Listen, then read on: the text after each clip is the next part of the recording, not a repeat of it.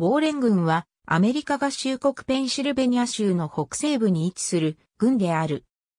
2010年国勢調査での人口は41,815人であり、2000年の43,863人から4.7%減少した。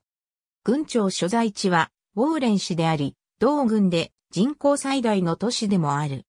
ウォーレン郡はその全体でウォーレン小都市圏を構成している。1800年にアレゲニー郡とライカミング郡の一部を合わせて設立された。当初はクローフォード郡に、1805年からはベナンゴ郡に付設され、1819年になって正式な軍組織ができた。アメリカ合衆国国勢調査局によれば、軍域全面積は898平方マイルであり、このうち陸地883平方マイル、水域は14平方マイルで、水域率は1.60%である。特徴的な地形として、アレゲニー川、アレゲニー貯水池、キンズアダム、アレゲニー国立の森がある。以下は2000年の国勢調査による人口統計データである。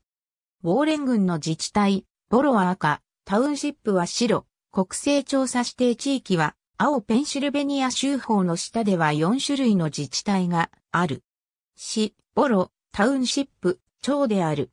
国勢調査指定地域はアメリカ合衆国国勢調査局が人口統計データを取るために設定した地域である。州法の下では実際の司法権が及ぶ範囲ではない。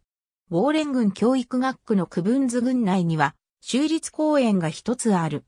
チャップマン州立公園がアレゲニー国立の森と州立狩猟区域第29に隣接し、クラレンドンに近くアメリカ国道6号線房にある。またハーツコンテント国立景観地域と呼ばれる原生林もある。ありがとうございます。